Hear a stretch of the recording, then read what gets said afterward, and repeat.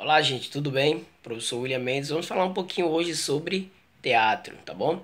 Os gêneros teatrais que nós conhecemos. Nós temos alguns, tá bom? Vamos tentar trabalhar com alguns aqui.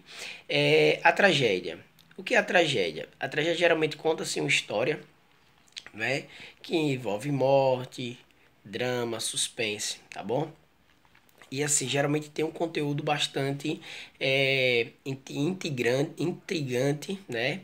E que traz pra gente é, essa emoção de todo um contexto que envolve naquela história, tá bom? A comédia. A comédia geralmente são histórias engraçadas, né? É, então não tem muito de mistério aí. O teatro invisível. O que é o teatro invisível, William? Que eu nunca. Como é que existe um teatro invisível?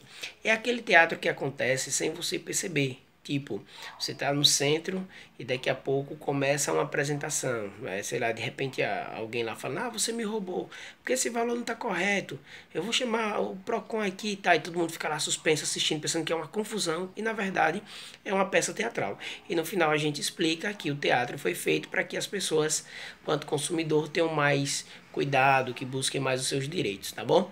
O outro teatro é o teatro de boneco, né? Todo mundo conhece aí marionete, o teatro de fantoche, que é um teatro que trabalha com os bonecos, né? E é fantástico, né? A, principalmente a habilidade de, de trabalhar com, com a manipulação dos bonecos, é, que chega à, perfeição, né? Seus movimentos.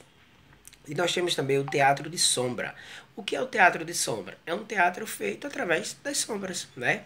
Tipo, na escola a gente utiliza muito tipo TNT, né? Os bonecos ficam por trás e nós colocamos uma fonte de luz, né? Por trás dos bonecos. Então, aquela projeção, né? E aí você tem um, um teatro de sombra. Ou então, bota uma fonte de luz no final do palco, bota o TNT e bota os, as, os alunos para a apresentação. Então, basicamente é isso, tá bom? Espero que vocês tenham gostado. Forte abraço. E aí eu deixo para vocês algumas alternativas para apresentações de teatro que não seja você especificamente na frente, tá bom? Forte abraço.